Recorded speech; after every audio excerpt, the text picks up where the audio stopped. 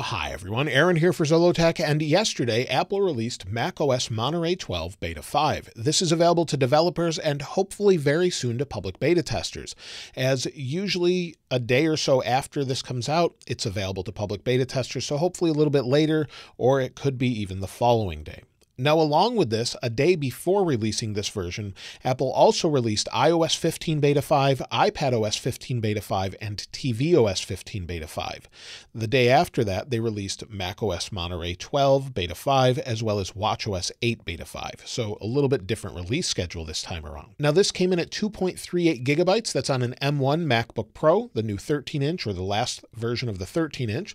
Let's go ahead and close this. We'll take a look at the build number and talk about what's new. So we'll go to the Apple, click About This Mac, now you can see the build number is 21A5304G, and this just lets you know that you're on the most recent version. Now, as far as what's new, the first thing that was new is when I updated the system and then it rebooted, it gave me a new message where it said, Your Mac is running the latest software update allowed by your administrator. It's just a wording change. We haven't seen this before. It could change again, but it's something that's a little bit different. It just used to say something along the lines of your Mac is running the latest software software update. So now it's just saying allowed by your administrator. Maybe it will change again in the future, but we don't know. Now, for all of those wondering where is universal control, this version does not have universal control enabled. We thought we would see it as in macOS Monterey Beta 3 actually had an option under displays where you would click this little down arrow and we would have the option to go to advanced and it showed something along the lines of universal display. Now we can just mirror or extend to like we could before. So they've removed this option. They removed it with beta 4 and it's still not back in beta 5. So I really thought we'd see universal control, but maybe we'll see it with beta 6. It's not enabled on the iPad either. So we'll have to wait at least another week or more for that. Now, if we go into Safari, there's some changes there as well. Now, some people are saying they're seeing a splash screen here. I have not seen that, but some people have seen that.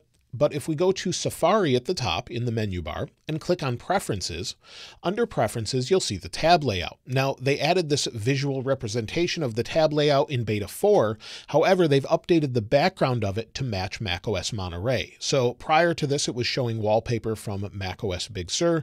Now it shows Monterey.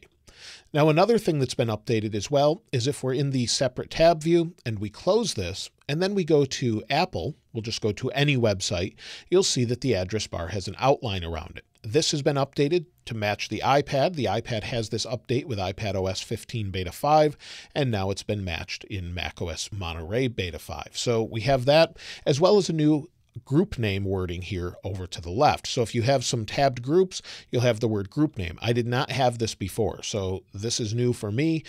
Let me know if you've seen this before. Now let's go ahead and close that. And there's an update in system preferences as well. So if we go over to system preferences and within system preferences, click on battery or energy saver or the energy settings if you're on a wired Mac such as an iMac, click on power adapter and you'll see it says wake for network access. We've had this before, but now there's a little description underneath it where it says while sleeping, your Mac can receive incoming network traffic, such as iMessages and other iCloud updates to keep your applications up to date. So that's something that's a little bit new. And also no longer is there an option for power nap on this MacBook. So normally there would be power nap where it could do those updates through here. Maybe they're adding it to wake for network access and that's part of this wording as it can keep you up to date, but I'm not sure as we haven't seen them remove this. It was gone in beta 4, it's gone in beta 5 still. Now, if we close this and we go into podcasts, so let's find the podcasts app here. The first time we go into podcasts, it gives us a new splash screen that says shared with you. Find podcasts shared by your friends in messages on Listen Now. So if you have podcasts that have been shared via messages, you can find them here. And you'll see I got the same splash screen again. But you'll see if someone shared a podcast with me, it will show up in the bar on the left as well. So just like it does on iPhone, it will show here. Let's go ahead and close that. And talk about known and resolved issues. Now, as far as resolved issues, Apple has not updated anything in their notes saying there's anything resolved in this particular update. That doesn't mean they didn't fix bugs and things in the background, but they haven't noted it at all. There's also 21 known issues that are still listed that they're aware of. So they're still working on issues, and hopefully those will be resolved when the final version is out. It usually takes some time as they work through the major issues and then work down to the minor issues. And if you're having an issue, make sure you report it in the feedback so that they can bring that up and get that resolved for you as well.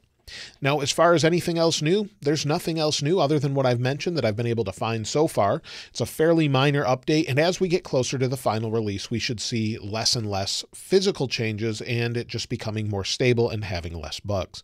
So, not a whole lot more as far as that goes. And if we go over to the calendar, we can expect the next beta most likely in about a week or so. Generally, in August, we'll have a beta every week or so with a final release sometime in September or even October, depending on how far along they are with this. So expect a beta sometime next week with beta 6. If not, they could change it up and we could have beta 6 in two weeks, but most likely it will be next week, and then hopefully we'll see universal control enabled. Also, if you're wondering whether or not you should install this beta update, if you're already on beta 4, I would say go ahead. However, if you're on a public version, I wouldn't necessarily install this. Also, Apple released macOS 11.5.2 the other day, was a bit of a surprise, but it's just a security update with no updates whatsoever. So they haven't mentioned what's new in that at all. So that was released to the public. I would stay on those versions if you're worried about maybe using this as your production machine. I wouldn't I would recommend against installing it if it's a production machine. Let me know your thoughts about it and if you found any other new features in the comments below. And of course, if you'd like to get your hands on this wallpaper, I'll link it in the description like I normally do. If you haven't subscribed already though, please subscribe and if you enjoyed the video, please give it a like. As always, thanks for watching. This is Aaron. I'll see you next time.